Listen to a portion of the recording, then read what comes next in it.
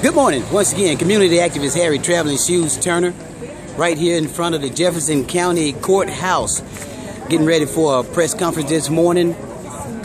Representative John Rogers, Representative Mary Moore, Councilperson Sheila Tyson, Knowledge is Power, uh, Mr. Muhammad, and several other activists here getting ready for our press conference.